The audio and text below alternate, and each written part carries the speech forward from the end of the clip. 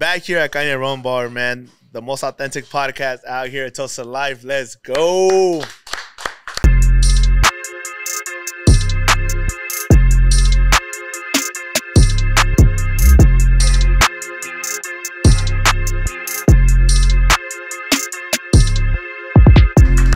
Man, sitting here with an entrepreneur, a father, a actor, a rapper, uh, one of the most amazing people that we have yet to meet, Mr. Joey Abril in the house, baby. Let's go. Man, really quick background for the people that don't know, you're an entrepreneur, and I, I believe everybody has seen you on Instagram, has seen you post your your El Arabachi on social media. You're not located just in one area. Pomona, Yoruba Lali, in Paris, and pop-ups. Yes, sir. Again, I remember you on IG when you were posting your pop-ups, and you you go through hiccups, right? And I think again, when we talk about right at the beginning, hiccups is what is what makes us. Yeah. Hiccups, the bad times, the hard moments is what shapes us who we are, who we are right now, and when we go down the line of hey, what our history is, we remember the good times and when we celebrate it, but damn, we remember those Those hard blows. those yeah. hard blows, man. Sometimes, yeah, you got to go through those and turn those lessons into blessings, and that's pretty much it. You know, like learn how to flip it, flip the script, and come see that light at the end of the tunnel. And sometimes Yeah. you have to go through what you have to go through in order to know what light is. You must have gone through the dark. You must have acknowledged darkness. You must have known what you know the dark is too. Appreciate light. You know, and that's pretty much the journey. You know, of a lot of successful people, stories, and and um, you know, beautiful, successful stories. You know. When when did you figure out there was there was blessing in, in the chaos? Again, coming from El Sereno, coming from uh, growing up over there, you know, you mentioned early, right right at the beginning that you, you, you grew up in a in a in a city that it has a lot of great people, but there's still chaos, just like any other city. So, um, pretty much when I noticed the blessings through the chaos was uh, I was stabbed twice in uh, October 28, 2014. A couple of days before Halloween, evil was in the air. The dude who stabbed me had a devil tattooed on his neck. Um, and pretty much it was a battle for my soul. That's the way I've tell this story to this day. I was stabbed twice. Uh, my kind of it punctured my intestine. I had a Wow. they had to do surgery, a lot of stuff. Um, I went through craziness in that hospital. Um, and that was the real turning point in my life. I I pretty much just changed my whole life around, and through the chaos of me being at a at a club, you know, with my friends aggressively. One of my friends was getting jumped. I didn't know they had a knife, and pretty much I jumped in for my friend. They ended up stabbing me twice on my stomach. I got the hood zipper, you know, that surgery that a lot of people in the hoods get. You know, pretty much they open up your whole stomach from mid stomach all the way down, and you know, and yeah, and that was the moment, October 28th, that happened. And within a few days, my children walked in, my Bumblebee, my Iron Man, and my Ninja, because they were dressed in their, you know, Halloween costumes. It was Halloween. I was there for Halloween, and uh, it was a spiritual moment. I just seen them from far. I was I was morphined up. I had a had like a tube, you know, in my neck, and as long as I was breathing properly, um, I was able to press a button to give me a morphine shot. So the dreams that I had there, and the dreams, it wasn't a white long haired, uh, it wasn't a white long haired male, and it wasn't a person with horns, and would have, you know, for my soul, it was colors. It was a darkness and it was light, and I was able to distinguish what that meant. And when I see my kids coming through that doorway talking about, Dad, we heard you got in a car accident, of course, because we didn't Yeah, tell them that Most definitely. I got stabbed. You know, we are trying to protect that information from them. And Dad, you got in a car accident, and I remember just being under the morphine state and fresh out of dreams, in and out of nightmares, and and just their brightness was was amazing. Once again, my my Bumblebee, my Ninja, and my Iron Man, they, they were dressed in their costumes because they were on the way to trick or treat. I was still in the hospital, and from there, like I just started bawling, and that was like the ch- changing point in my life. Tremendously, I I literally changed my life from that moment on It's engraved. yeah, bro. From there on, I stopped drinking. I um, I just changed my life around the way I never went in a you know a strip club ever again. Never. Where- I got stabbed in a strip club, you know, and uh, I never stepped foot in a strip club. I hardly even ever stepped into a club. I probably one club, like a nightclub, ever since then. Um, I stopped watching sports. I stopped drinking. To me, it was I, I got out of the box, the beer box, the pizza box, the backyard box, the the the TV box. Like I literally got out of the box to the point where I couldn't. I don't. I don't. I don't entertain none of that. I don't watch Wow. sports. I don't. Don't follow it. I don't invest no time in that. News. I haven't watched news for many years. Like I have my kids stay away from that. When my kids go to family members' house, my mom's house, and all that people that I that watch news, I I tell them make sure you guys don't no news around my kids and no. I don't even want them hearing it subconsciously in another room or nothing. What I mean, why why is that? I, I, that's very Um, intriguing for the people that are listening. They're like probably like, okay, why? Why is he protecting his kids from? Pretty much. Um, I know it sounds cliche, but No, I I I I, I awoken. You know, I, I awoken to a lot of the the things that like the fear based mechanisms, all that stuff that were just keep like I started seeing the world for what it is. You know, and um, Yeah. different after that moment of getting stabbed and and going through my nightmares and dreams. I got out of there like, dude, like Yeah. more more enlightened to what Yeah. what the world really is and how we're controlled and how we're just you know they install these fear based mechanisms to us and and you know and pretty much controlling and Yeah. you know I kind of went I went deep with my whole conspiracy kind of ways of, of, of looking at life and Yeah. researching a lot even though since I was little I've always had connections with Indians and native you know Aztec Mexica stuff I had dreams and pretty much me getting stabbed and all that like those dreams that I had there and from there on I I began my whole journey of spiritual evolving and connecting mm. with with medicine, medicina, learning about my culture, the history, and and certain things that I, I started reading upon. It was like I already knew, like my, my Yeah. soul knows. Like I've been here before. This ain't my first rodeo. Like Isn't it crazy when like you get to a certain position, a certain time, or a certain event, you're like, man, I feel like I've been here before. yeah, bro. Creo que ya me pasó. yeah. And then you're at the same time you're like coming to realization like, okay, I haven't gone through this at this moment, but I feel like I already have. And it gets you thinking like, okay, so I know how to maneuver. Like I've I already I put in context everything that's happening, right? And like there, I think there's always signs that happen to us. Siempre hay señales que hey, if you do this or whatever you're gonna get it, bro, like this happens. Yeah, bro. I mean, the soul is a, is a marvelous. Once you start doing deep soul work and start, you know, researching history of just Yeah. what the soul is and just what life is and what this human experience is, and, and you go deep. And Yeah. You know, for those who seek, you shall find. You know, for those who definitely, you know, want to learn more about the deepness of spirituality, reincarnations, all that past lives and trauma and you know, pretty much generational traumas being passed down and all that. And once you start decoding all mm. that, you're able to pinpoint, you know, like certain things and heal and heal traumas and pains and break that web, that cycle. And it's a beautiful thing. And sometimes it takes a horrible, you know, near death experience. It takes, you know, which Yeah. I had, you know, when I got stabbed. And it takes people going to the brinks of them seeing that light, you know, and then coming back and like, nope, it wasn't your time, you know, and that's pretty much, you know, I know many stories people you hear, oh yeah, I seen the light, and pretty much that's it's real, you know, I seen the light, I seen the darkness, and it like I said, it wasn't a person with horns and a devil-like person, it wasn't a Jesus-like person, it was energy, it was darkness, it was light, and the light was calling me more than anything, and it was a real battle, you know, and uh, pretty Do you, much. do you think before before that moment you were playing with that idea of life and death? um, before that moment, uh, I had changed a lot already, but I, there was still certain things that I wasn't able to master. That Mm. incident allowed me to master it. Um, I had, you know, already stopped the whole gang banging before that. I, I was heavily involved as a youngster with with drugs and and gang banging and uh and heavy drug use. You know, I was Yeah. a meth addict for about five years, from when I was fifteen to twenty. Um, I didn't. I didn't attend high school. I attended high school for two months. Never went to no high school dances, no prom. That's one of the biggest things that kind of hurt me like nowadays, you know, it's like um you know, I, I know when there's prom season in house, you know, like you drive by that, the, Yeah. the- you know, when they're taking pictures. I know what the corset is. I know like you see the limo, stretched out limo, and it like but you never had it. and I never had it, bro. That's one of the things that like I've never been attended no high school dances, none of that, and like that's one of my biggest kind of emotional, like touching. You know, even in movies, you see movies and like oh man. they talk about the the dances and getting ass and all that. Like that's one of my biggest things. That like, damn, I didn't never had to go through that. it. You know, I never experienced that.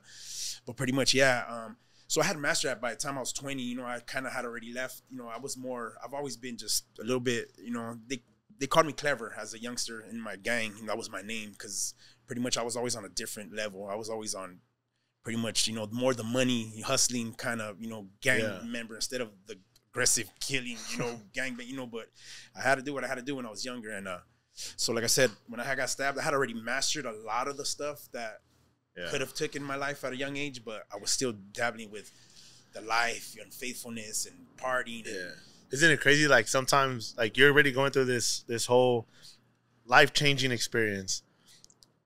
You're still dabbling, how you say, you're still dabbling with the other side of it, but then all of a sudden you get something that just here. I'm gonna challenge you. Before you get into this new chapter of your life, I'm gonna challenge you. Do you really want to go into this next chapter, or are you just gonna keep saying you want to change and go fall back into everything that you've been doing? yeah, Because no. it's easy, bro. Falling back into the Oh, temptation, yeah, into the whole life that you've known for X amount of years, that's a lot easier than trying to completely change, especially when you know that side is a lot brighter and a lot more fulfilling, more purposeful. But it's like, yo, you got to go through X, Y, and Z before you get there. yeah. For Are you ready for that? And there's levels. There's levels. Like I said, I had already mastered some. I thought I was already on point, and then that whole incident happened in uh, uh, 2014, and um, from there, that was that took me way to a whole So other level. this was 2014. You're already in acting. uh, yeah, I was actually right before that. Um, That- I mean, let's shine, let's shine some light on there. You you're an actor also that you've been a part of some amazing projects. yes, sir. Uh, Fast Fast Seven, Fast Seven. right? NCIS. Yeah. it's- Uh, I, I have everything like kind of days Chicago PD Chicago also, PD, man. And correct me if I'm wrong, but you're a part of Longmire. Yeah, I did uh, two episodes on Longmire. I was out in New Mexico. They flew me out there. I was out there for like two weeks. I was just telling Chris, I was like, bro, I used to I watched like all the seasons of Longmire on there years ago, and, I'm, and then when I read it, I was like, what the fuck? Yeah, man. so pretty much, I'm an extremist. Anything I do, I, I do it 100. percent I don't half-ass nothing, and anything that I do, just like acting, it kind of got brought upon me through Homeboy Industries. You know, the the Yeah. nonprofit organization, a great, you know, Father Greg Boyle, all them, and uh, they had a casting agency that would go there and just kind of pick people to come out in shows. And uh, with Richard Cabral, a couple, he was a good friend of mine back in the days. We've kind of lost touch um, throughout the years, but uh, I kind of got led through it through that way through Homeboy Industries. I was there, you know, getting some services done, tattoo Yeah. removals, and because yeah, after that whole kind of stabbing, you know, I went through a whole transformation. I had my eyelids tattoos, I had question mark right below my eye, I had a zipper handle here, I had a halo on the top of my forehead. Like I've done tattoo removal. Yeah, my arms are getting, elbows down, getting removed. My neck is getting removed. I went through the whole after getting stabbed, but even before that, I was already changing. Like it was Yeah. slowly progress and uh pretty much that's how it was there was a casting agency la casting they seen my they seen me and they were like dude we could want to represent you you know we, you have good energy and and it was just based off of um, homeboy industries and yeah i went to burbank signed up did some headshots and i started getting sent on auditions and not for nothing but like anything i do like and it put my mind to it, I, I could succeed. Whether it was a rapping or the acting, whether it was gang banging, you know, I'm an extremist. Whether it was getting tattoos, I'm an extremist. I go 100 percent with it. Or removing them, I'm removing mainly all of them. Basically, it put you in there, and you're, yeah, you're gonna you're gonna figure it out. Master it, and um, I've been like this. I was little with Yeah. everything that I do, and uh, so yeah, I got into the whole acting, and then Mayans, yeah, the Mayans. I Sons booked, of Anarchy. I booked the pilot for the Mayans. so that was my whole turning point why I left the, the acting. I, I got a huge heartbreak. You know, I booked the Mayans, the pilot, shot it. I was with them for about a month and a half. We got. I'm one of the reasons why one of my characters. Uh, you know, well, it was uh, it was Yuki. That was a character, which means happiness in in Japanese. You, yeah, Y U K I. I was one of the main characters, and uh, and pretty much I self sabotage myself for that. Um, I Wow. I gave out too much information, and I, I gave a release date and everything, and they dropped me, and I went through this whole like just.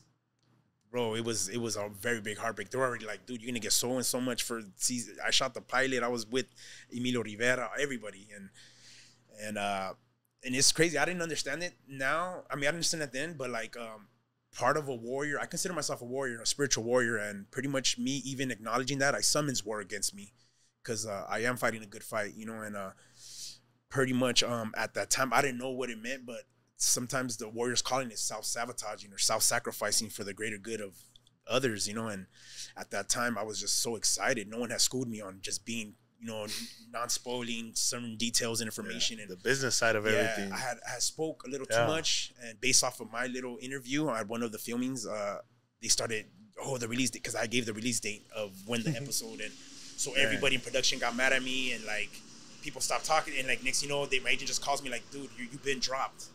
And I'm like, what do you mean I've been dropped? Like, yeah, like I don't know, like what's going on? Because Yeah. I, I I got an agent real quick. I did the whole background work for a couple months, and right away they're like, you know, you you're eligible for SAG-AFTRA the union, and you know, of course, me still, you know, in the cannabis industry, I've always had a little extra money to be able to invest in stuff, which a lot of people don't, because you have to pay so much money. So a lot of people remain non-union actors background and not stepping up to speaking roles and all that and so right when i was eligible i paid the whatever three four thousand which a lot of people don't because they don't have that money you know, just sitting around Just to kind of invest into something that you don't even know what the return is. yeah bro. But to it, it's with everything. Business, your next move.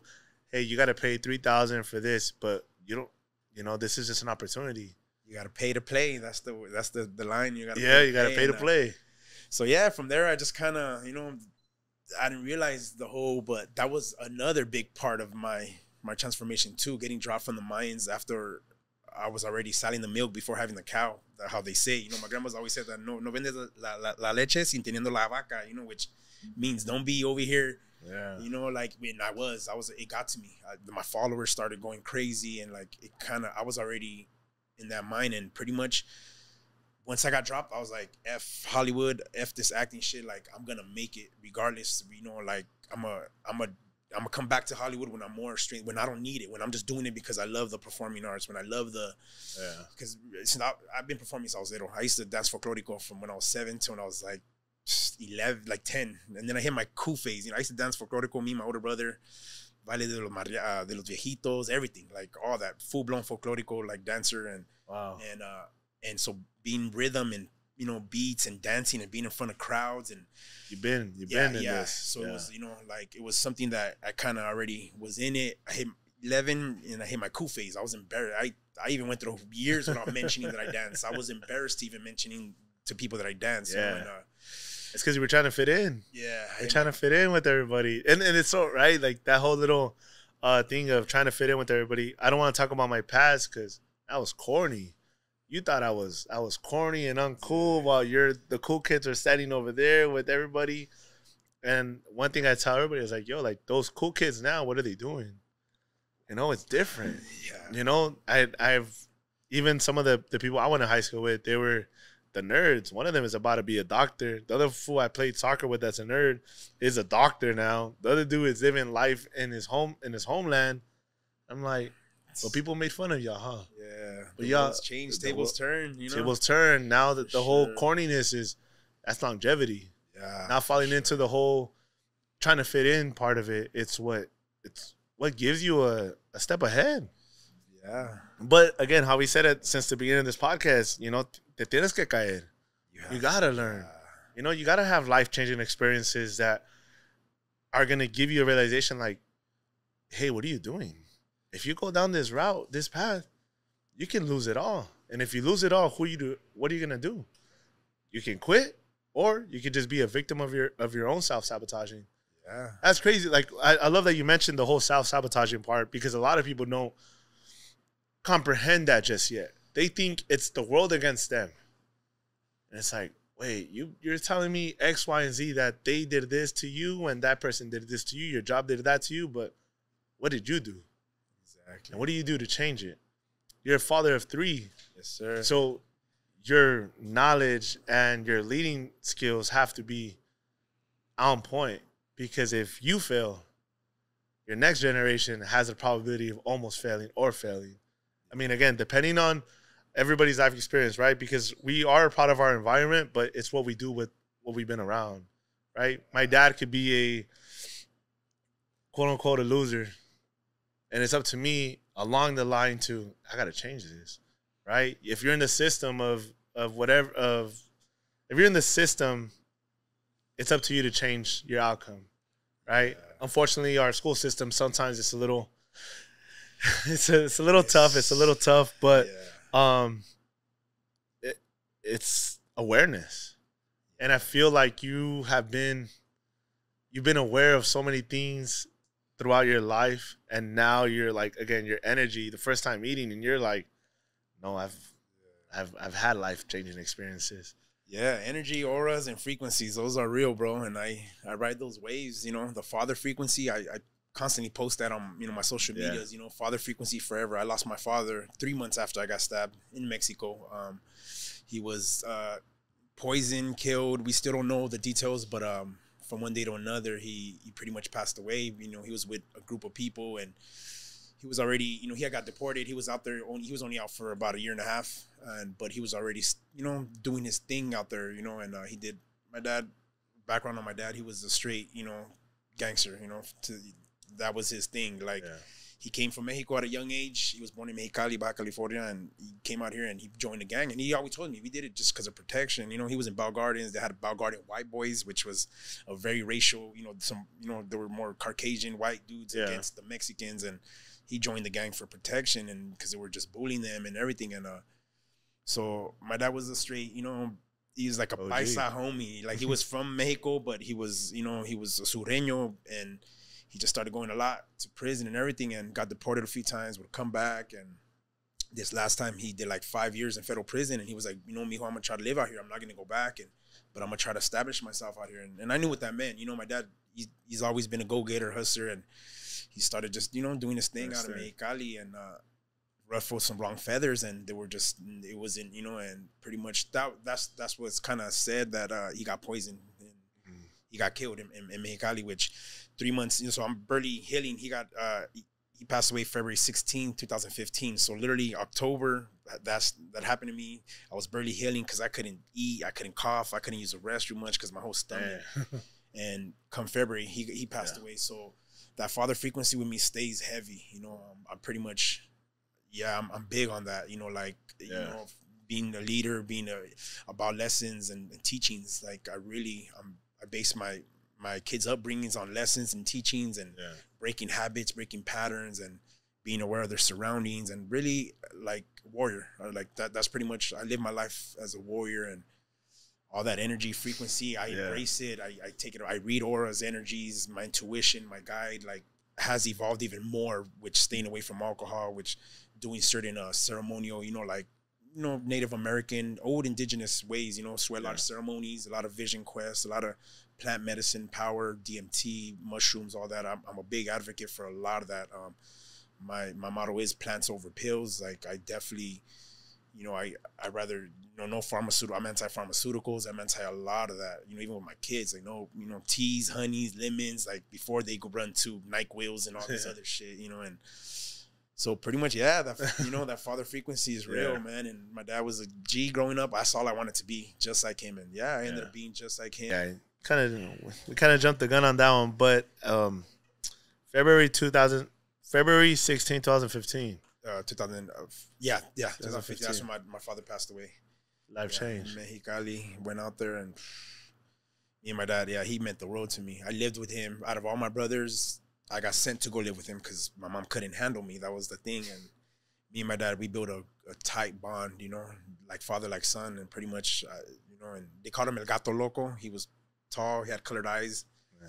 and um, and that's my connection with the cat, you know, the jaguar. You know, I pretty much my religion is the ways of the jaguar, the provider, protector, the hunter, the gatherer. Like, I, you know, this is you know people might think this is ego stuff. This is more ego stuff. You know, this is like warriorism. You know, I connect with Yeah. past. You know, you in your journey, you find a shiny rock or something. You you create earrings for your daughter. You you hang it on your neck. Like, you know, I'm I'm speaking about my indigenous people. You know how we would you know wander the the lands and find certain gems, stones, and all that. We would wear it proudly. You know our collections, and this has nothing to do with ego. It has to do more with warriorism. Um, you know my hard work, me, who I am, representing. This is the jaguar on my neck and.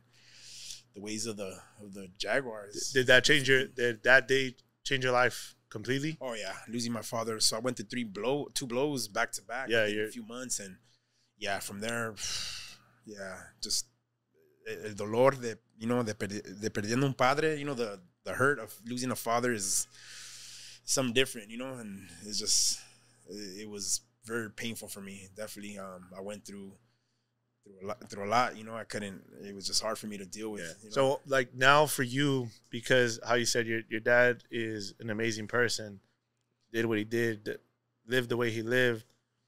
You're your father's son. Now, how do you make your dad proud? Man, just by being being the father that I know he he would you know he was trying to be with with us you know for certain reasons um he couldn't get to it you know. There was just a lot of distractions in the way um just to get into details my mom was born here he was born in Mexico so there was always this little Oh, the, they just couldn't, you know, my mom too, her ways of being towards him. Like I, at a young age, I started seeing, you know, and like my dad just, he loved the loquera. You know, he always had a saying, uh, soy como soy. That was his thing. Like, I, I am how I am. Like, this is me. And, Yeah. and he just, you know, my mom, she left the life because she was, you know, her, she didn't, you know, she was crazy herself too. At a young age, she had my brother. She was a teenage mom, had my brother when she was like 15, had me when she was 16, like within the 11 month span, you know, she had, you know, turned 16 with me. And, so I was, you know, teenage parents, and they were they used to love the party, the life, and I grew up watching them, and pretty much I wanted to party up, be up all night, wondering, damn, how do you guys stay up all night? And we wake up, we want to sleep, we wake up because they're still partying. So do you think you went through that whole your whole life,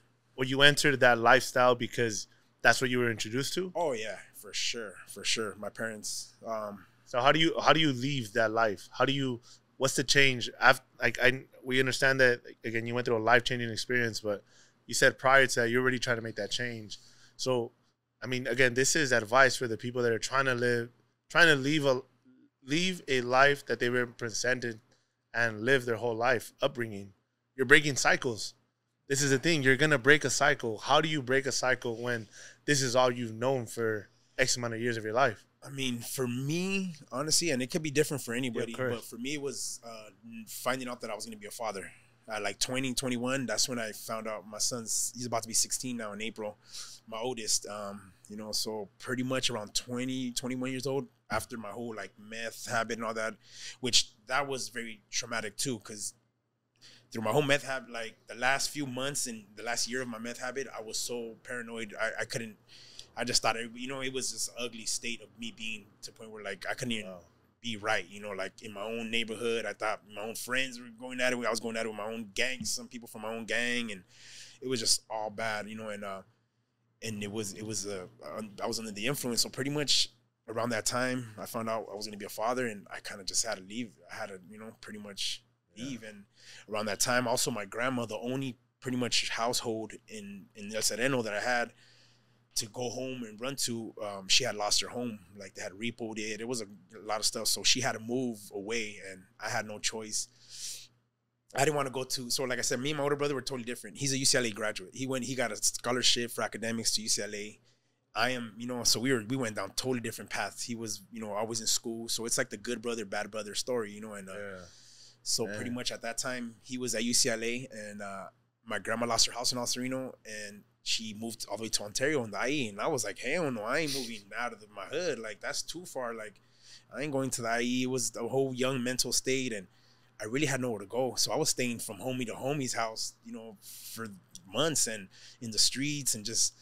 I knew I could have gone to Ontario and lived at my grandma's house. My mom was already remarried, and you know she already had her husband in Ontario. But we kind of, you know, we didn't really see eye to eye. You know, me, and my, I went three years without talking to my mom. Um, in a sense, she put me in, in like, you know, in the system. You know, I was in a foster home in like a placement. It's a, it's a boys' home. I AWOL'd uh, the New Year's of '99 and 2000. I was just telling this story the other day. We thought the world was gonna end, and I was in a placement, a boys, a group home, and it was the New Year's of '99 and 2000, and the whole Y2K thing. And I was like, dude, I'm not gonna, I'm, I'm AWOL'd. So I, I absent without leave, without leave. I AWOL'd that place, and I was on the run around that time. But I was God. 99 to 2000 New Year's, the whole year was gonna end, the world was gonna end. I was like, dude, I'm leaving that that day, New Year's Eve. I I left and I called my dad and he picked me up. And my dad would always back me up no matter what. He'll, you know, and and yeah, so that's pretty much like my whole thing. My brother went to UCLA, he was at UCLA, and I didn't want to go to Ontario. So I asked my brother, What's up? Can I and honestly, that was a big changing point. Shout outs to my brother for receiving me and I was the guy on the couch. But um at UCLA in Westwood, and my my brother had a it was like student housing. It was an apartments, and so I left my area, my gang area, and I want to go live with my brother out of UCLA. And uh, Oh. I was that bad brother, you know. The oh, we're you know we're trying to help him, but I was also the brother that can get any drug that anybody wanted, you know. And So you were you were you were there sleeping, but you were there also needed. yeah, yeah. So Yeah. whatever the weed, whatever they needed, any energy for them to stay up, study up all night You for got the it. finals, I had everything that they needed. So right there, I started seeing a different. That's where I actually got my first job at. It was at a my first job ever. I was like, damn, I forgot what. Uh, yeah, it was at Chili's. I was like a, a Chili's. I, I was a host, and I got my first job, and and from there, like, I, I just started seeing a different life out in Westwood, like, and you know Wilshire District, all that like area. Like I started Yeah. seeing. I would go to my certain classes with my brother because they don't take roll call or nothing. So I'll sit in the stadium seats and just learn and soak up, and I'll walk around campus with like a backpack, and I started knowing like a lot of people there, and like for sure that big moment, you know, us Yeah. losing a house, you know, getting bankrupt or whatever, um, Changed you. changed me. My brother was at UCLA. He was like, "Well, you come over here." I was still kind of dabbling, running back from like Yeah. neighborhood to UCLA, but That's crazy how like when you leave your environment and you go in, you step foot into another one, and and it's awareness, right? Right. Like I grew up in Baldwin Park, SGV, and we're good, right? Like it's it's a good city. It's dope. But once you leave there, you you can tell the world is different. There's more opportunity. There's there's bigger buildings. There's a better life. There's more opportunities, more connections. You know, it's not us against them. It's bro, it's you against you. yeah, Oh, they don't accept. Why don't they accept you? What's the reason why you're not there? Right? Again, we're we're in the whole Hispanic Chicano movement. Okay, what's what can we create to get us there? Now, yeah, the people and the big restaurants, nice restaurants, the bus boys and the waiters look like us, right? Well, why are, why can't we be there? Why can't we change it? yeah. Change You know of what I mean? environment, Change- change of environment definitely can broaden your horizon, can can make you think different, can and that's pretty much yeah. So my biggest change changing point was the change of environment. Yeah. Was the Yeah, because you're going you're going from city, right? You're in your your movida already, and you're going into a 360 turnaround. Oh, I I heard this.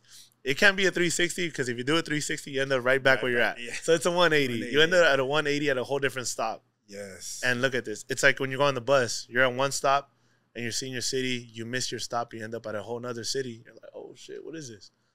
Oh, I kind of want to be here now. Yeah. Right? That's why we travel to Newport, Orange County, we travel to Santa Barbara, different areas. Bro, it's expand your area. You're not just meant for this anymore. Like, yeah, our whole system is meant for this is all you're good for. I'm gonna tell you what you're good for and what you can be. A school teacher, you can be uh, at the warehouse. But hey, did anybody tell you you can be an entrepreneur? Did anybody tell you what that there's more you can create your own money?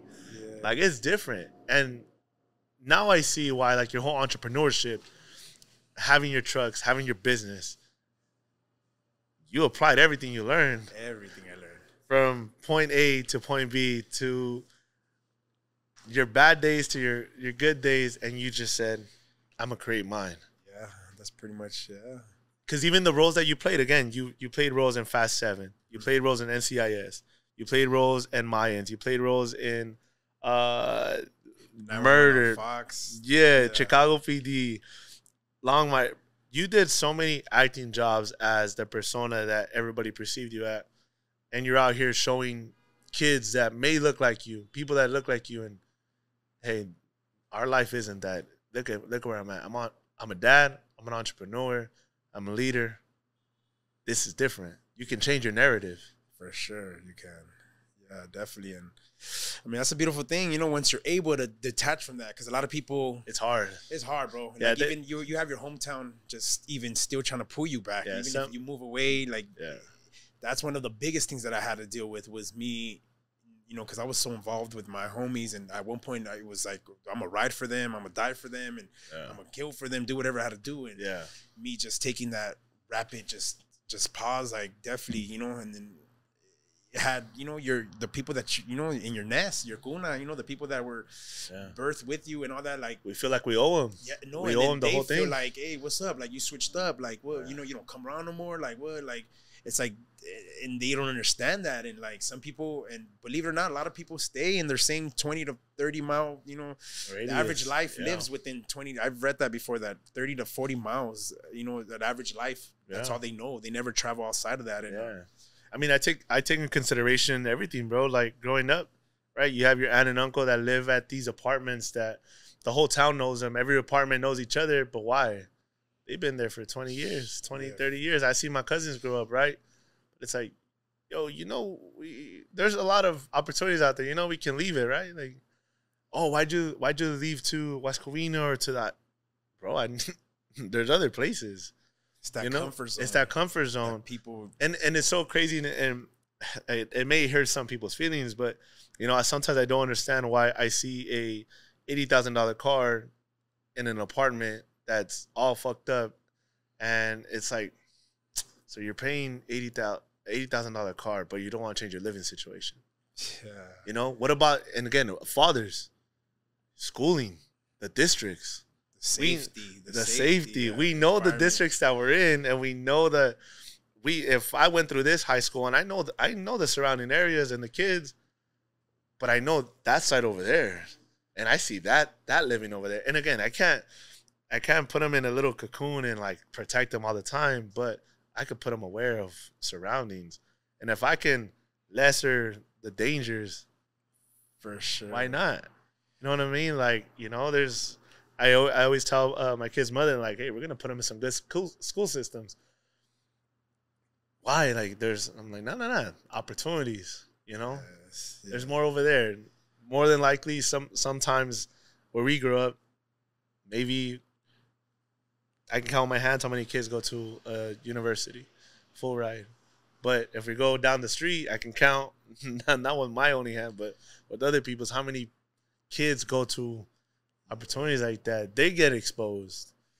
So migration, that's my biggest thing. Is migration. Yeah, like, like yeah. I said, I think like a jaguar. Like Yeah. I, I, I'm animal like living. Some people are like, oh, mm. you're you're an animal. Like no, it's not. I'm an animal like living. Like pretty much, I adopted my studies that I've read so many books on, and just how Yeah. we would mimic nature. We would mimic animals. You know, their survival tactics, their Yeah. the ways of migrating, and pretty much I've adapted that to my life. Like, and I've accepted that. Yeah, in order to get to places, sometimes you cannot be stuck in the same zip code, same areas with with your same friends. Not only do the minute you start getting blessed with with any progress, your neighbors, let alone your even family members. I've had you know family members unfollowing me for no reason, just because I'm um, I glorify you know yeah my accomplishments. Like I have I'm not one to be used to being told you know congratulations as a young kid. I just started getting told congratulations in the last ten years of my life, a little bit less, eight years of my life, and uh, so being told congratulations, all that like it was you know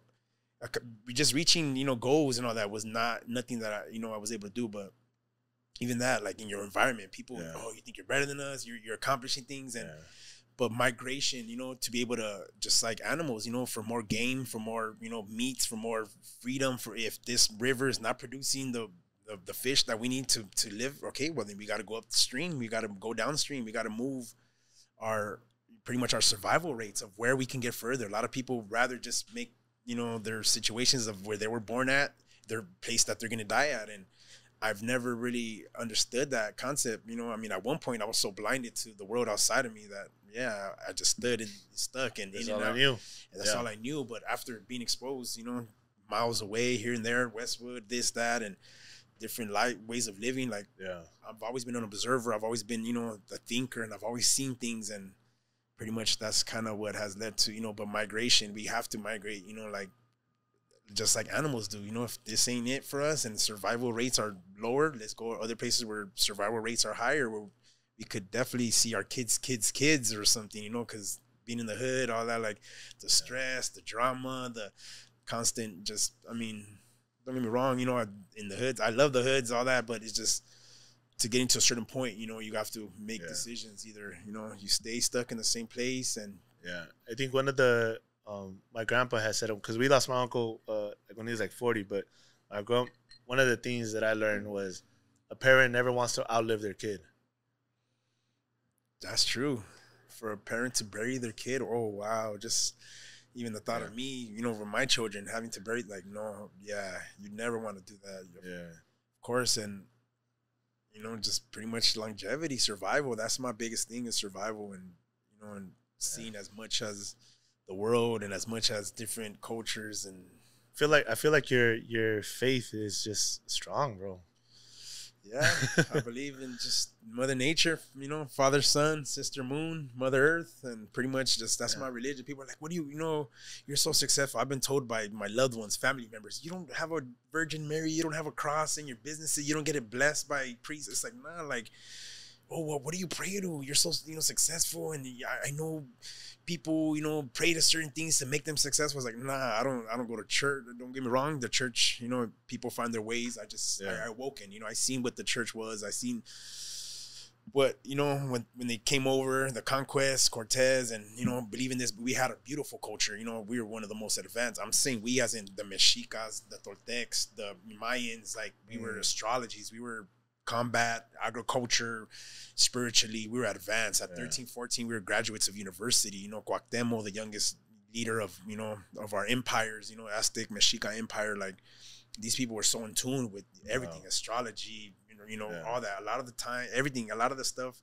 we were one of the most advanced civilizations at the time way Yeah. more than the roman catholic church with all due respect and when they came over they seen our beauty our feathers our culture our music our foods and our agriculture our aqueduct systems and pretty much that's when they were like and we're so giving we're so loving and and that's so people tell me what's your religion my religion is yeah mother it's my energies and this is stuff that like it just awoken in me. I, I mean i read a lot and everything Yeah. but a lot of the stuff that is in tune with me is stuff that i already know like can't nobody tell me certain things like my past life i've had certain ceremonies where i'm able to see myself running through the forest while leaves are hitting me as a jaguar like my past life i was a jaguar through What's certain what's that? Um, there's a, a certain uh, like plan or ceremony that people do Ayahuasca. ayahuasca, Yeah. right? So I do DMT, and I do it pretty much. It's not like a you know everyday thing. It's pretty much it calls me. And uh, dimethyltryptamine, it's found in our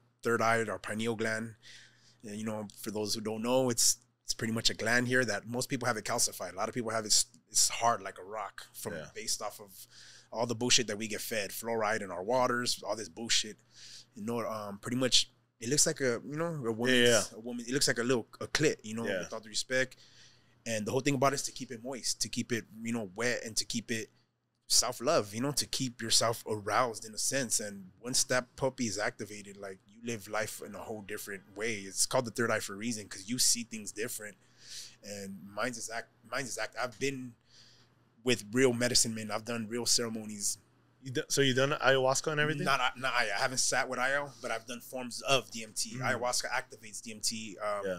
Pretty much DMT is found in every living organism, from plants, animals to us. And And, and do you for that like do you have to have like a certain person that's already been familiar with that to kind of lead you into it or yeah, Be- because again this is something more intriguing for those people that are wondering and like thinking about it right? Like like i've never done none, none of that but i'm intrigued. So like how would you enter that that type of space? Because again i've, I've heard that even doing ayahuasca it's once you go through that you live life clear. Yes, it's different. Yeah, bro. Life changing experiences. Um, pretty much, of course, the Amazon is here now in the states. Before you would have to go to Peru and and the Amazon rainforest and sit down with a shaman and all that, but a lot of it has already crossed borders. We figured out how to do things, just how to get it, you know, make it synthetic. You know, there's even synthetic forms of it, but people get the root and the bark.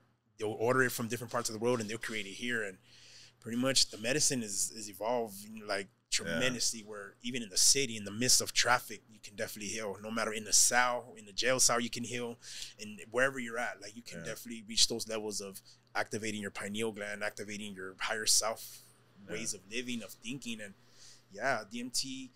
There's a pure form. Ayahuasca is more like a longer, it's hours, you know, so it's a lot less calmer. DMT is a straight 20, 30 minute, you're gone. You're you close your eyes and, and you you go to dimensions, bro. And the dimethyltryptamine is something that Yeah. it works better for me since we're so busy with time and everything. Like Yeah. we don't got time to go to the rainforest and spend a whole day drinking teas, brews, and yeah and just seeing things like I, I, I do a lot of healing amongst myself here and I've you know helped heal others. I I definitely the medicine and the medicina, you know, la, la cultura cura. that's like my my biggest thing that I teach and that I connect with and I've I've had maestros, you know, like shaman, you know, that that I've worked with that have um have really sat me down and guide me through and they've seen certain Wow. things in me that I don't see in me like dude you you have something you know there's something about you and you know you're you're you're old Yeah. you're, you got ancient wisdom and and when you go through these ceremonies you get gifted there's certain dimensions and pretty much it's with your eyes closed because seeing the world would just look there's too much energy here and when you close your eyes on these DMT trips like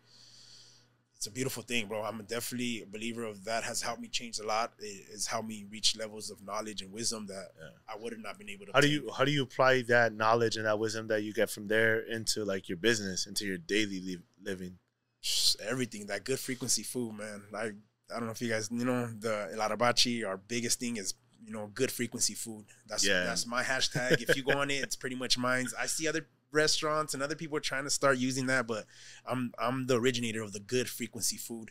I definitely believe in that. I believe in uh intaking food and energy transfer. You know, a lot of people are eating food nowadays that's fake, that's being put together by miserable hands and they're transferring that misery so you consume it through your mouth is the oldest way of casting spells through potions and and all that like being fed something or you know you hear about all those the girls spaghetti you know Yeah. and, you know when they're on their you know like you've heard Yeah, you know like in history that through your mouth is one of the oldest forms of casting spells or of empachados or doing mal to somebody you know and like pretty much that that is real. I apply the, the good frequency like from the minute that we purchase it from the minute that we prep it, like all good frequency, and I believe in energy transfer. If it's made, you know how they say when the salsa's hot, it means that the, they were mad when they made it, you know. so all that it, it has its real connection, and I apply all my spirituality into the feng shui of even how things are set up, how the Yeah. energy of what gets done first, what gets done second. Like I'm big. I do have a form of OCD. You know, a lot of things have to, you know, be lined up. You know, just the way my finances, my glove compartments, my closets, my my house. Like I have that in me, and I've had it since I was young. And some people find it a problem. You know, so like, damn, you're too much. Like, nah, boy, it is what it is. I'm a perfectionist. I'm an extremist. Like, and so I apply all that, the spirituality, the whole. You know, Yeah, what you is get- it? You get Uh, a new. uh, I'm I'm too much, but am I too much for you? or right? Yeah. Like again, you're not you're not for everybody. yeah, Not everybody's for you. yeah, You know, so that's like that whole next question of like, how do you figure out who stays in your life and who leaves? honestly, my cutoff game is is is cold. My cutoff game of like family members of like I really I've detached. I've lost so many people that meant to me, and I've lost so many things that to a point where like I I don't I don't beg nobody stay in my life. Like I've I, I'm a loner, you know. Like honestly, me from that getting stabbed moment. I used to be into sports. All the Lakers playoffs, I'll be at bars, this and that, and just holding a drink, ah, acting like I cared. And it's like after that awakening, that state of me, my near death experience and my real awakening, I stopped going to my uncle's houses and drinking. So I started being, oh, look, you know, being talked about like, oh, look at, you know, here's brother Joey. Like they thought it was a religious thing and it wasn't, it was a more of a spiritual thing. Cause I didn't go yeah, straight into, I didn't go to the church. I left the church after that. I, I would pray to Jesus and all that when I would go to jail and young and messing up, and I never I would go to the prayer circles and in the dorms and you know in jail Yeah. and all that, but I never felt that real strong connection until my spiritual my spirituality got Outside, yeah. got activated after you know So you don't beg nobody to stay. no I don't honestly my cutoff game and honestly I'm pretty distant from a lot of people a lot of people like it's a, me my kids and my wife and my business associates partners and and even those they come and go. So i pretty much uh i pretty much yeah just do my own thing. I mean i'm, I'm busy most of the time to where i even apologize to some of the genuine good friends that i have that like dude i'm sorry. Like i'm just you know right now at these times like eventually when the kids are out of the house and all that we're gonna probably you know i tell my wife dude like we're gonna are we gonna be lonely later on? Like because we don't our friendship like even to have friends right now it's like man like i'm trying to build an empire like Yeah. future for future generations to come It's for the people to understand, like they understand that. Well, the ones that want to understand that life is busy, and if you want to create something great, it takes time and it takes it takes money and it takes emotions, it takes energy, and if you don't understand the shit that we're going through, and you're complaining, and compl- I'm sorry, bro. Like Yeah. this shit's moving. Time time waits for nobody. No perdona. El tiempo no perdona, right? So if either you're going with us or you're going apart from us, and it's one of those things where you got to make that decision on your own. and the average human lives for Friday, Saturday, and Sundays. Yeah. And me, those are my big. I have food trucks. Those are our biggest. So yeah, we're off Mondays, Tuesdays, and Wednesdays. So it's like, but I love that oppositeness. Like yeah, that, it's real entrepreneurship. Like when you can, you know, like Yeah. Monday, Tuesdays, and Wednesdays are our days off. Like those are our weekends. Like you, Yeah. we, we go to theme parks, empty. we go to restaurants, empty. It's like yeah, we live the opposite, but we it, it, Yeah. it's only people in that grind and that entrepreneurship and that real survival mode because I'm in survival mode. I ain't in relax mode. I'm I'm I'm up early every day, five five thirty. I can't even sleep, and even on the weekends, my kids, my wife, damn, like they complain sometimes. It's like, nah, well, I don't know. Like I'm already used to being up at five five thirty. Gotta get going. You got okay, maybe give or take. I'll stay asleep till Yeah. six six thirty, but I just gotta be. Even if I sleep late and all that, like my I never get my full eight hours of sleep. Hell Yeah. no, like I haven't had eight hours of sleep in a long time. But Eight hours of sleep. What is that? Who is that? for real, it's like Yeah. five six hours is what I'm averaging like Yeah. a day. You know, and it just. And I'm cool with it. I mean, here and there, I'll take my little naps here and there, but even then, I kind of, I don't even have time. Like, I'm just, I'm on it, and yeah. Pretty much yeah that's you know some people you got to be in it to understand it. Some people like i said the average human they teach us just monday through friday Yeah. friday this that and we're okay. They're living check to check. And with all the respect everybody chooses you know if they're comfortable if they settle for less. Me i've uh, that's one of my biggest things is i don't want to settle for less. I want to see many parts of the world. I want to experience things. I want to give my kids i want to i want to be that father for my kids that i wanted to you know like Mm. I never went camping as a young child. I never knew what nature was. I never knew how to build fire pits or, or, you know, or tents or none of that. And, Yeah. and now I'm to the point where, you know, like I'm, I'm experiencing all that nature, being around nature, just in the air, just out there in the desert. I, I got toys and my kids, quads, motorcycles, all that. Like we go out there and we spend our time. And I know how to. I do digital detoxing. I do city detoxing where I just leave everything. Like I've picked up little techniques that can definitely help. You know, Longevity. yeah, longevity and memories and, and just Hell a beautiful yeah. life. You know, that's what I'm after. A beautiful life. You know, Definitely. for sure. It could change your day. It could change your life. It could change the way you think. It could change whatever you're doing. And it starts even by, and I'm, I'm a big advocate on how are you doing? That just goes a long way. for sure. I don't know what you go through. I don't know what you've been through. I don't I don't know your daily struggles. But this moment that we have right now, how are you doing? And if you tell me and honest, like really honest, how you're doing, okay, this this is gonna change. You know, to we can probably right now we're probably having a shitty morning. After the conversation, we can leave you like, damn, bro, like eso me da motivación. For sure. Yeah, because that person had no necessity to give me that energy or no necessity to tell me how they felt. Now my day's made. Now I owe that person or I owe the, I owe power above. I owe it to somebody. It is not me. Like I think that's one of the things that I had to learn very, very well, where it's like it's not up to me no more. I could do as X, Y, Z things as much as I can, but I'm not the strongest person here. I'm not the most knowledgeable person here. I'm not the I just got to be the best me and I got and I have to make sure that I do what's right. I don't want to wake up tomorrow morning and be like, "Damn, I I really did that. I really I really acted a fool." You know, I regretted. I don't I hate living life in regret. I, I, I used to a lot like wake up the fuck, I should have never done that, bro. Yeah. Now it's like, it is what it is. Ya pasó. Now it's how we maneuver, you know. So, um, I've, I, honestly, I think with the whole conversation, man, again, you are sitting in a position where you've been a student of your life. You've been living your life, but you've taken a step back in a sense where you're kind of like, okay, this is what I need to be doing yeah. your energy is different. Again, how I said right now off the camera, where you're sharing with us a side of your life that, again, for some people, they not be, they may not be ready for that type of conversation. But again, this isn't. If it's not for you, it's not for you. Yeah, But it is for you. Here it is. for sure. Right? Not everybody is gonna be recessive to the knowledge that they get because maybe they're just not ready.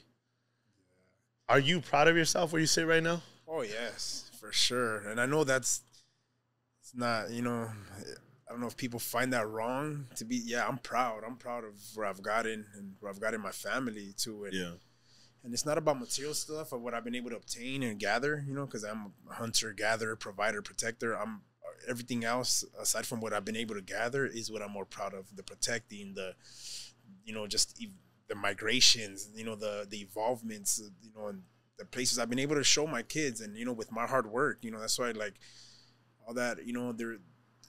You know, when it comes to that whole ego shit, you know, like some people look at it, you know, some of the stuff I share, you know, I've had, oh, you know, like some people tell me like, damn, it seems like you got a big ego. And it's like, nah, like, wait, this is a platform. People want to share negative shit all day. Like, Yeah. why can't I share my positive and not let it rub you wrong? Why, why did my, you know, and why Yeah. did you have to unfollow me? What was, what post made you unfollow me? You know, I've had family members who, like I said, I, I don't, I don't talk to much family members. You know, it's a certain few, and for that reason too, I just started evolving. I stopped going to the, the football game. I don't, you know, I used to be a diehard Raider fan and all that. Now I'm like.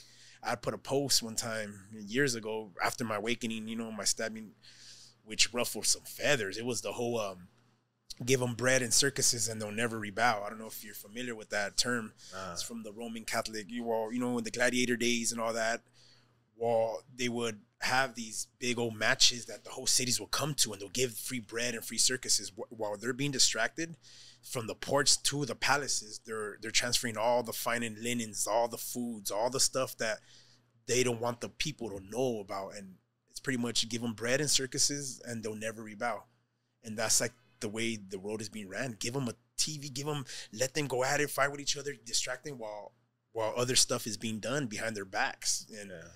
That's something. So I had put something like that. It was around Super Bowl years ago, and um, yeah, it was it was funny. It was that, and I had had went to the Grand Canyon with my family. I was like, dude, I'm not gonna sit in the city, and I'm like, fuck, Disconnect. yeah, I'm gonna disconnect. While Yeah. everybody's watching the Super Bowl, I'm gonna be at the Grand Canyon, you know, with my kids and all that. And from there, I put a post, and it was on my, and it was like one of those, yeah, you know, give them bread and circuses, and they'll never rebound. Like you guys, I'm over here creating memories, and that thing ruffled some ugly feathers. From there on, I lost like family members. Like family members stopped following me, and Yeah. and it, it was cool because it was them that it kind of hit them. You know, it, you know, if the shoe fits, wear it, and it hit them pretty hard Yeah. to the point where there was back and forth in the Yeah. comments. I was defending my awakening, my standpoint. Like, nah, like you guys have got it twisted. Like that's not life. Like, and Yeah. this that and I've, I've noticed it. They have to be ready for that conversation.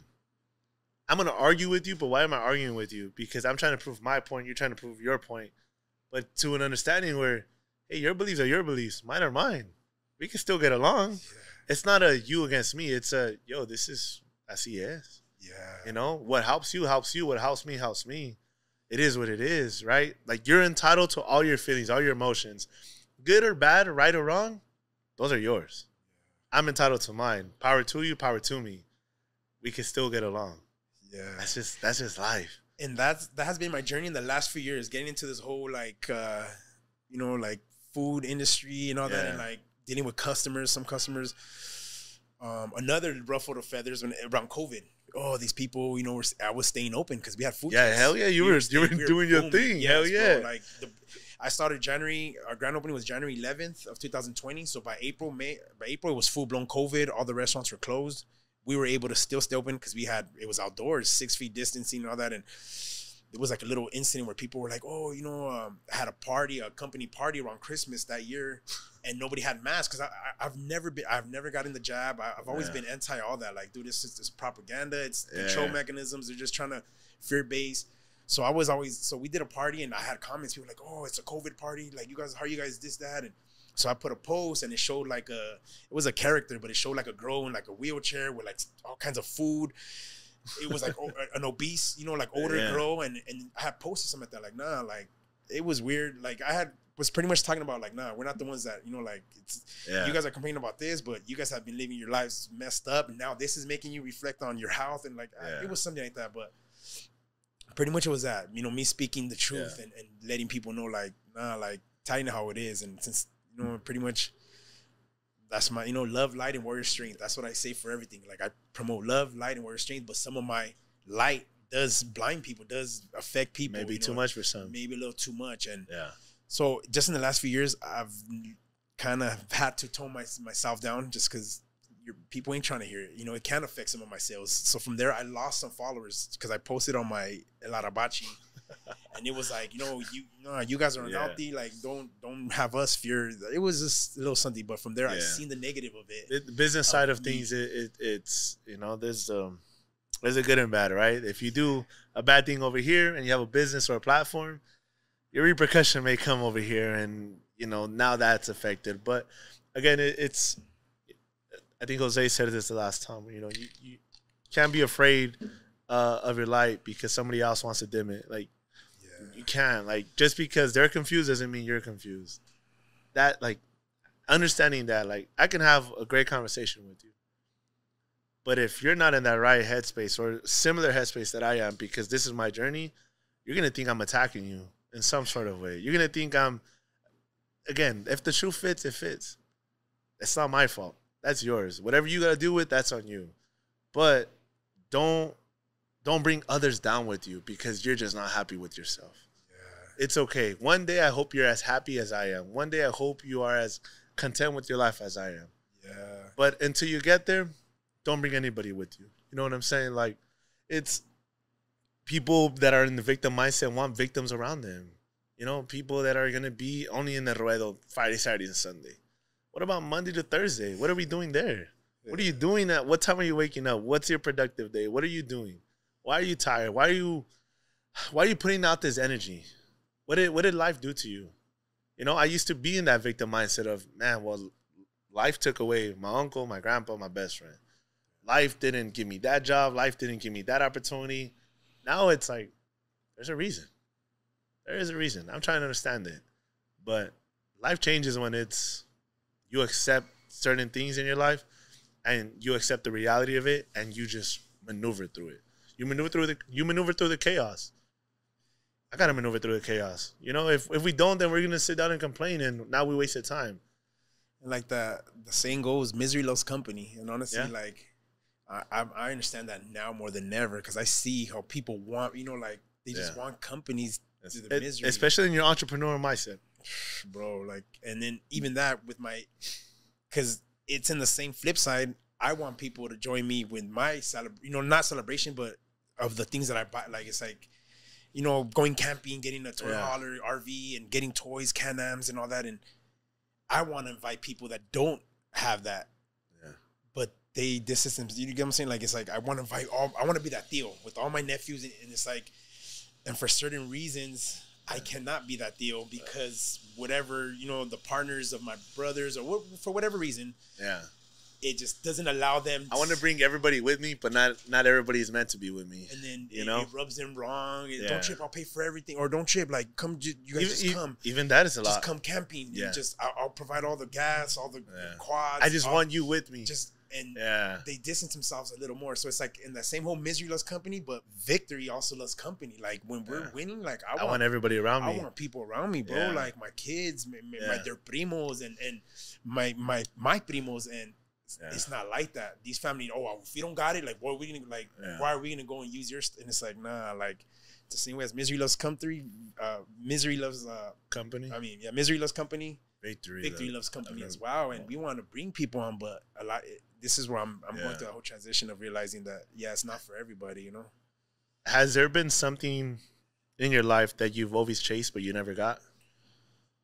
Maybe have has there has there been a certain phrase or certain set of words that you've chased your whole life from either your parents or people in your life that were at once a big thing in your life?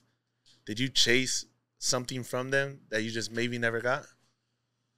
honestly, the realization of how smart I can be. I mean, I'm this is a scenario that I've always, I've always kind of explained to people like being in school and raising your hand and be like, "Yo, I got the answer," like, and always getting overlooked for whatever reason and never being able to give the time as in like, yeah, like you do have answers and we're gonna call on you Yeah. with my family, it's it's been that. It's the biggest battle, especially having a UCLA graduate older brother and all that. Like, I was never the one to go, Mira, mijo, read this letter for me. Like, it was just like Yeah. I was never the one to be called on, you know, and like, and I guess it's that, you know, and just to this day that I still kind of, it's it's hard to win my, my family's battles, you know, because it's not um Yeah. my hard work like it's a difference when my younger brother they walk into my younger brother's house and with his hard work or my older brothers and me it's like a different kind of congratulations it's not like uh, it's just weird like as It- being all right, so I'm not, I'm not trying to overstep, bro. And please tell me if I if I do.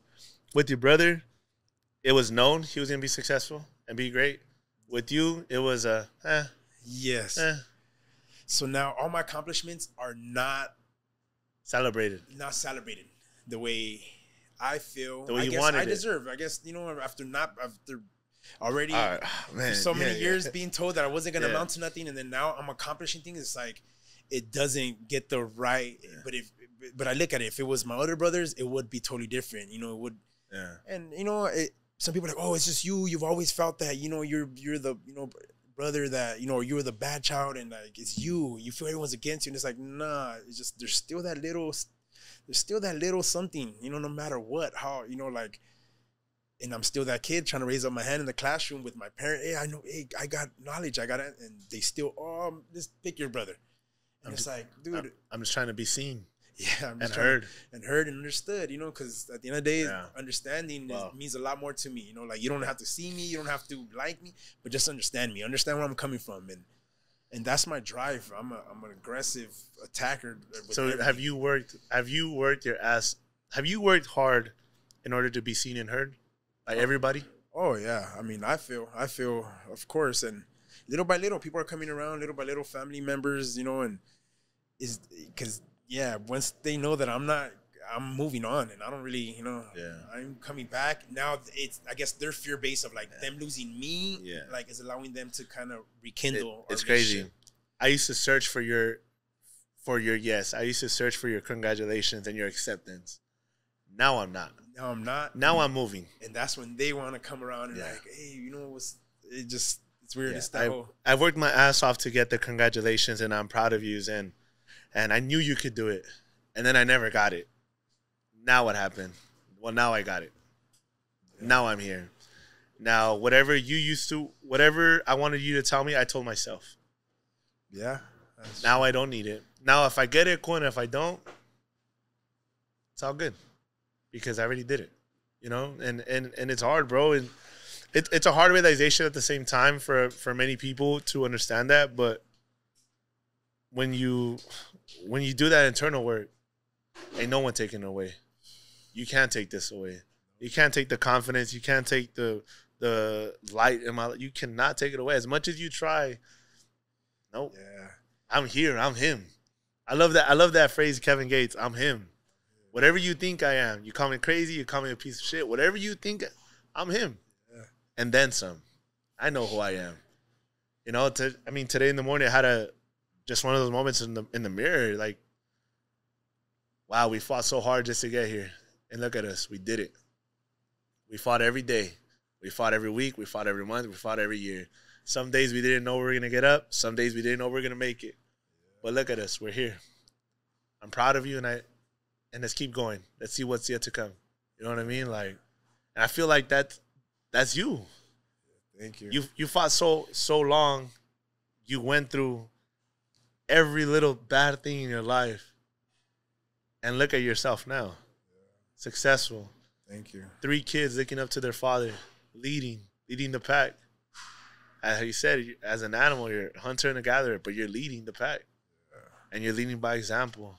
Hey, you could start here in little to nothing, to have now something. For sure. Yeah, bro, I, I'm proud of you. Thank I don't even know you outside of this podcast, but man, I'm so proud of you because you could have been a victim and you could have quit and you could have just said, "It is what it is. I'm done," and here you are thriving. Yeah, man. It ain't easy, man, but just keep on pushing. All those people who definitely, you know, are the bad seed, are the the black sheep. I mean, all that, you know, sibling rivalries. Because to say that doesn't even exist, that Yeah. it's a silent, you know, issue amongst family, amongst I mean, you know, who's happier, who's this, who's traveling, especially with the social media stuff. Everyone's Yeah. in competition and. So just to be able to, yeah, have my own, you know, and build my own empire and not have to, you Yeah. know, depend on anyone else. And Yeah, I'm one not to. I, I hate asking for people for help. I, I'm one. I'll do it. Like nah, I don't like. And yeah, it's that fire, that warriorism to keep on pushing and, and definitely extend that energy to whoever needs it. That motivation and Yeah. just you know to definitely seek within, you know, and keep on pushing, bro. Because you can live the life that you want to live. I mean, if if the life that you want to live is you know at a minimal low level, it's all good. You know, Yeah. like that's if you're happy settling, it's cool. I Yeah. I'm not. I want more. I want to show my kids more. I want my kids' kids, especially with the way the world is nowadays. I want what's mine, what I deserve, what I know I need. Exactly. You know, I don't want a penny more. I don't want a penny less. For sure, That's man. it. Uh, really quick question, random too, but when's the last time you cried? When the last time I cried, Uh, a couple of days ago, actually. Uh, my daughter just turned uh, 11 on the 13th. Yeah, on the 13th. It was so just love right now is in there, and we were looking through pictures of when she was young, and yeah, it just kind of got me really emotional. Yeah. Just seeing our journey where we came from, and seeing my daughter. My daughter, yeah, just she balance. She's really activated my my balance out a lot, my feminine, masculine, and all that, and she's she's really she's special to me, my daughter, and it was just her birthday a couple days ago. And yeah, we had a cool, deep little moment. Oh, love it. Um, if you would tell a 15 year old you some piece of advice where you're sitting right now, what would you tell them?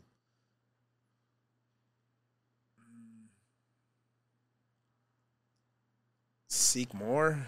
There's more to your your block because at 15, yeah, I was all Yeah. about my block. There's more to your street. You know, there's more to the world. There's more to to life than what you think there is. You know, seek more and stay disciplined and strong minded and warrior up. You know, spiritually warrior up. Yeah. because as past 15 everything gets harder and harder and harder you know so definitely yeah I, th- I think you're at a the perfect chair for this question. For all the fathers that are struggling with feeling proud of themselves and feeling like they're enough, if you, what would you be able to tell them? man just turn to your kids and look them in the eyes hug them put your ear to their hearts i do that often i hear their little heartbeats I, I, while we're laying down and just hear that that heartbeat and what it does to you just connect with that heartbeat and know Yeah. that that's a human know that there's a different universe in there that's you know and pretty much yeah definitely connect with your kids on a deeper level Yeah. look in their eyes, put your ear to their heart, and hear it. That thing works for me. It, it makes you think of just the whole universe that's in them on a different level, and, and pretty much push hard, push hard for your children, and use that as your fuel. Use that as your fuel, and Love it, bro. yeah. He, uh, do you do you have a quote that you go by that you live by? Um, each one teach one. Each one teach one. That's like my biggest thing. I'm all about lessons and, and teachings and my walk as a you know young, you know, pers- spiritual warrior is warriorism. Teach knowledge, teach wisdom. Each one teach one. That's like my biggest, you know, Wow. Biggest thing for everybody around me in general. Yeah. I, I often use that hashtag. You know, each one teach one. I'm, I'm constantly with with that. So each Love one it. teach one. Nah, man, Joey, I I appreciate you, man, more more than ever for taking your time out of a Saturday that I know after this you're going to work and um, just giving us your energy and your experiences and a little bit of your life of who you are and how you came up and I, I can't thank you enough, bro. Thank so you, bro. muchas gracias for, for coming in. Uh, I hope it helps somebody. I hope they took the lessons out of this. I hope they took the blessings out of this. And again, if you're in a struggling position or unhappy a position, well, it's your time to change. Better now than ever. Better now than ever, yeah. Ain't nothing to it but to do it just get about there and from one day to another, you know, you can definitely yeah. change your situation around. Hell yeah, it ain't it ain't easy being cheesy, bro. you know how we do, man. Yes, sir. But it's also live podcast, baby, most authentic, most organic podcast out here. Let's go. Yeah.